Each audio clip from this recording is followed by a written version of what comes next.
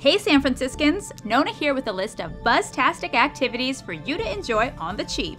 And this week it's all about free local explorations. So pull up a chair and take some notes. This is the Weekly Buzz.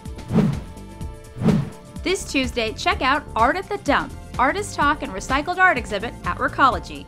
The Artist in Residence program at Recology provides Bay Area artists who work with recycled materials scavenging privileges in the dump and 24 access to the company's art studio.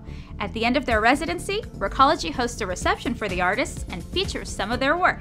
So come on by and check out these recycled originals.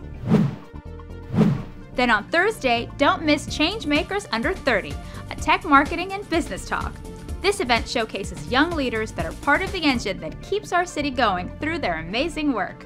Learn from their experiences and entrepreneurial spirit from 6 to 8 p.m.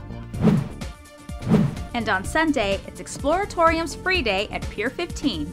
The Exploratorium is a 21st century learning laboratory and a playful place to explore and tinker featuring hundreds of science, art, and human perception exhibits.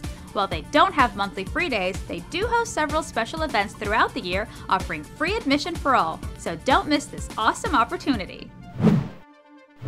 And that's the Weekly Buzz. For more info on these events and more, visit us at sfgovtv.org and click on Weekly Buzz. And while you're on the web, check out our YouTube page and scroll through some great original programs. Thanks for watching.